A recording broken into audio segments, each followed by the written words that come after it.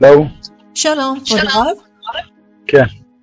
האם העולם שטוח או בין עגול? מי למי הוויכוח? מה זה? בין מי למי הוויכוח? לא יודע. אם, אה, סתם, אני רציתי לשאול. אבל ההסבר הוא ברור מאוד. יש אה, קודם כל, אה, אנחנו יודעים שמה שמובא בזוהר הקדוש, נכון. ובזכות מביאים את זה במסכת עבודה זרה, גם בשם הירושלמי, שהעולם הוא בעצם עגול ככדור, ממש בצורה כזאת.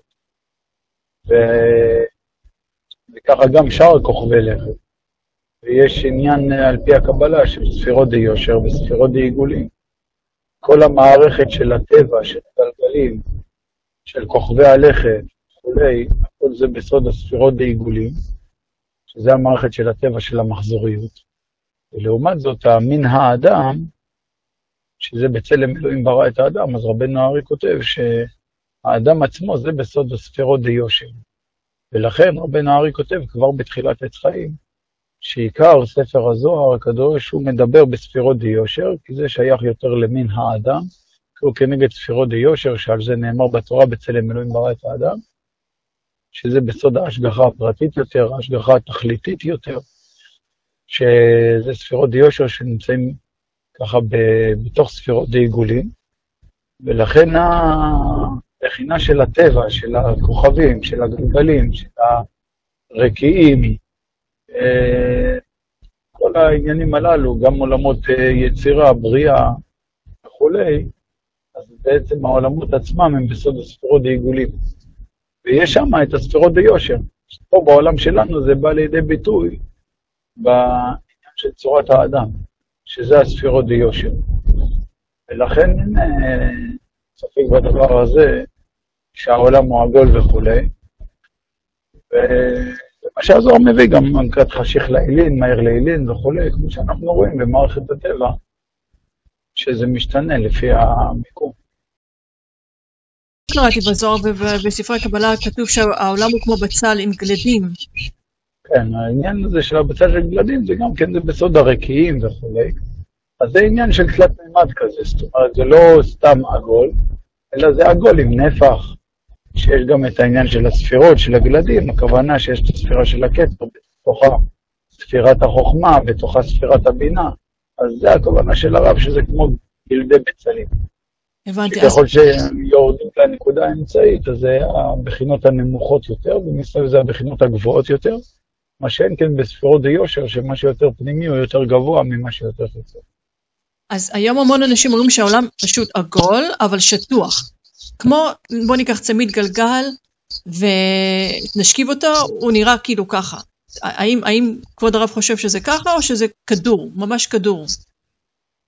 אז עוד פעם, יש את האטמוספירה עצמה, שזה הבחינה של האטמוספירה, שזה מה שיוצר לנו את, ה, את התכלת בשמיים וכולי, כל העניין של האטמוספירה ושל ההשתקפות וכולי. זה הכל בצורה עגולה. עגולה אבל כדורית. אבל לא כדורית, ודאי, נפח. נפח כדור, כמו בצל, כדור. אה, ואיפה זה? אבל המון אנשים מפיצים שמועות שהעולם הוא שטוח. בסדר, נו, ואנשים גם אומרים שהם הצטלמו עם, אה, עם, אה, אני יודע, איך קראו להם?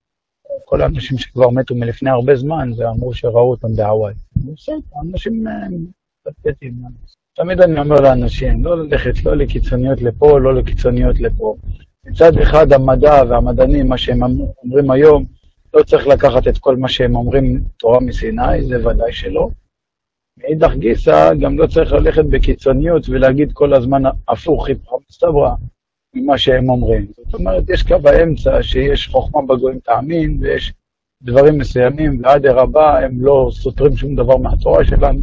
אדרבה, זה מוכיח יותר את אמיתות התורה שלנו.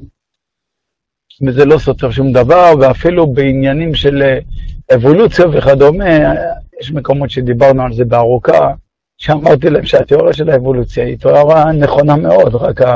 יש להם שתי טעויות יסודיות ביותר, שלכן הם הגיעו לכפירה. טעות יסודית אחת, שהם מתחילים את תחילת האבולוציה, זאת אומרת שאבולוציה זה עניין של השתלשלות ו... וכולי. הבעיה שלהם שהם מתחילים את זה. מגשמיות, והם לא מבינים שההתחלה התחילה מרוחניות. מי שלומד עץ חיים, מי שלומד בעומק, יודע שאכן הכל זה עניינים של השתלשלות וכולי, אבל זה לא מתחיל מגשמיות, זה מתחיל מרוחניות. מתי שהגיעה ההשתלשלות לשלב גשמי, אז השלב הגשמי הוא כבר היה מובנה ומוכן לפי ההשתלשלות שקדמה לו בעולמות הרוחניים.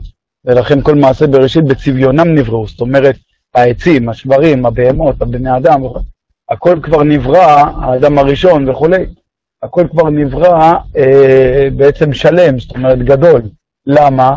לא בגלל שזה התחיל שלם, זה התחיל באמת מאפס, אבל ההתחלה שלה מאפס זה התחיל מרוחניות, לא מגשמיות. זו טעות אחת גדולה מאוד שיש להם, שיש לזה השלכות כבירות, שאצלהם הם מתחילים לחקור מגשמיות, אין להם שום מושג בעניינים רוחניים. וטעות נוספת שיש להם, זה שהם חושבים שזה נעשה לבד, והם לא מבינים שהכל נעשה על ידי בורא, על ידי השגחת משגיח. אז לכן ברגע שיש שתי טעויות בסיסיות כאלה, א', שמתחילים מגשמיות, ב', שחושבים שזה נעשה לבד ובלי השגחת משגיח, אז יוצא מזה כפירה. Mm-hmm. אבל, אבל עצם העניין הזה של, של אבולוציה וכולי, והעניין של, של התפתחות וכולי, אדרבה, זה דבר, אם מבינים אותו, שזה מתחיל מרוחניות ומבינים שיש משגיח ויש בורא לעולם, שהוא בעצם התחיל, וכל העולם שאנחנו מכירים זה אפילו לא כגרגיר חרדל, ואני לא מדבר על כדור הארץ, אני מדבר על כל היקום. Mm-hmm. זה אפילו לא כגרגיר חרדל בפני עולם היצירה, שזה עולם אחד מעבר עולם העשייה. אז, אה, אז ברגע שבן אדם מבין את הדבר הזה ויודע את זה, אז הוא גם, זה אדרבה, ברגע שלומדים את התורה לעומק, אתה יכול גם להבין מאיפה נבעה הטעות של, ה, של כל מיני כופרים. זאת אומרת, אפילו אלה שכביכול אפשר לדון אותם לכף זכות, שאין להם עניין להגיד נגד התורה, אלא הם פשוט מאוד חוקרים. Mm-hmm. אין בעיה. אז אפילו אם לא יודע כף זכות שהם חוקרים, אבל ברגע שנקודת ההתחלה שלהם, שהם לא מבינים מה זה עניין רוחני, לגבי רגשות, מצפון של האדם, אין להם שום הסבר מה זה. ולכן אה, ברגע שאין להם הבנה בעולמות העליונים, עולמות רוחניים, ולכן נקודת המחקר שלהם מתחילה מגשמיות, וגם אין להם הבנה בעניין של השגחה פרטית ותכלית בשביל מה אנחנו פה בעצם בעולם. אז, אז לכן זה נובע הטעויות האלה, אבל מי שכן אה, זוכה ללמוד את זה, אז הוא מבין כאילו גם איפה נובעת הטעות, ולכן הוא אפשר לברור את האוכל ולזרוק את הפסולת. אין בזה שום בעיה, משתמשים בעניינים הללו. עכשיו, אה, מתי שבן אדם, אה, לצערי הרב, לא לומד, אז אה, יוצא אחד מהשתיים, או שהוא שומע להם לחלוטין, ואז הוא הופך להיות גם כופר, או שהוא שולל את כל מה שהם אומרים מא' עד ת', וזה עדיף יותר, כי לפחות הוא יישאר ככה נאמן לתורה, זה עדיף יותר, אבל גם זה לא נובע מעודף חוכמה. אז אני אומר, בצורה הקדוש, פרשת ויקרא, בדף י"א, באילך, שם כתוב שכל ישובה מתגלגלה בעיגולה ככדור. יופי. וגם uh, תוספות במסכת uh, עבודה זרה, מביאים את האלכסנדר מוקדון וכולי, שהפסל שהוא שם כמו כדור וכולי בעולם.